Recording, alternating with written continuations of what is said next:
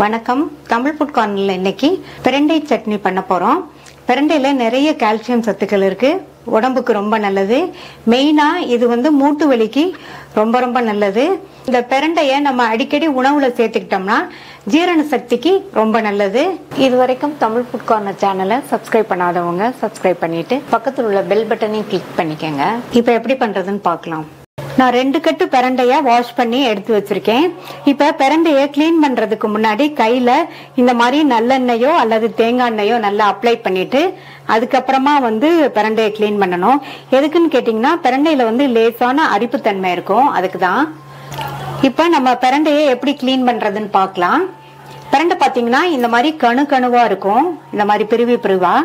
இப்ப ஃபர்ஸ்ட் உள்ள பிரிவை வந்து நம்ம இந்த நாலு எட்ஜஸ்லயும் ஒரு கத்திய வச்சு நார் மாதிரி இருக்கும். அதை எடுத்துடலாம். நாலு எட்ஜஸ்லயும் எடுத்துடணும். இந்த மாதிரி எடுத்துட்டு இதை கட் பண்ணிக்கலாம். இந்த மாதிரி கட் பண்ணாதான் சட்னி வந்து நார் எதுவும் இல்லாம நல்லா இருக்கும். அடுத்து உள்ள கணுலையும் நான் வந்து சைடில் உள்ள நாரை எடுத்து காமிக்கிறேன் பாருங்க. லைட்டா இந்த மாதிரி கட் பண்ணாலே வந்துடும் இத வந்து கட் பண்ணிக்கலாம்.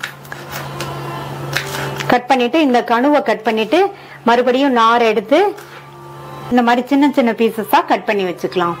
ஸ்டவ்ல ஒரு பேன் போட்டிருக்கேன். அதுல ஒரு டேபிள் ஸ்பூன் நல்லெண்ணெய் சேர்த்துக்கலாம்.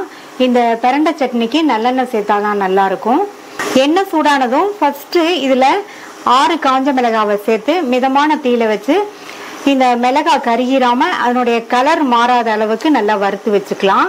இந்த மாதிரி எண்ணெயிலே வறுத்து நம்ம சட்னி பண்ணும்போது சட்னி வந்து ரொம்ப டேஸ்ட்டாக இருக்கும்.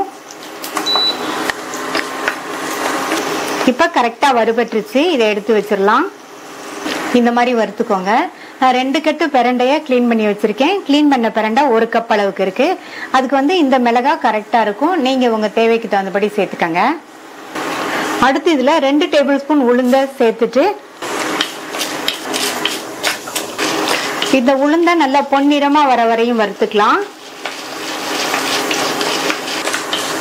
உளுந்து வறுபட்டு நல்லா பொன்னிறமா வந்துருச்சு. இந்த ஸ்டேஜ்ல உளுந்த மட்டும் தனியா எடுத்து வச்சிடலாம்.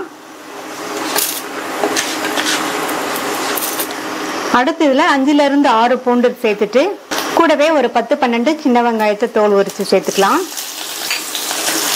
இது ரெண்டுமே நல்லா வதங்கணும்.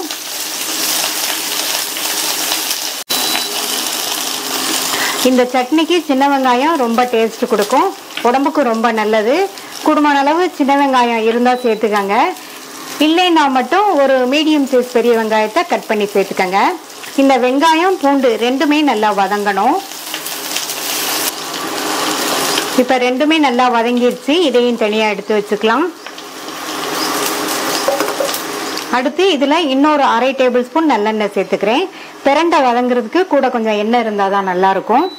எண்ணெய் சூடானதும் நம்ம க்ளீன் பண்ணி வச்ச ஒரு கப் பிரண்டைய இதில் சேர்த்துட்டு எண்ணெயிலேயே நல்லா சுருளை வதக்கிக்கணும். இந்த பிரண்டையோட கலர் மாறி வரணும். அந்த அளவுக்கு நம்ம எண்ணெயிலேயே வதக்கணும். எந்த அளவுக்கு நம்ம எண்ணெயிலேயே பிரண்டையை வறுக்கிறோமோ அப்போ தான் சட்னியோட சுவையும் நல்லாயிருக்கும். இப்போ ஓரளவு பிரண்டை வதங்கியிருக்கு. இன்னுமே நல்ல கலர் மாறுற அளவுக்கு வதங்கணும். இது கூட கொஞ்சமா கருவேப்பிலை இலைகள் சேர்த்துக்கலாம். இந்த ஸ்டேஜ்ல சேர்த்தா போதும்.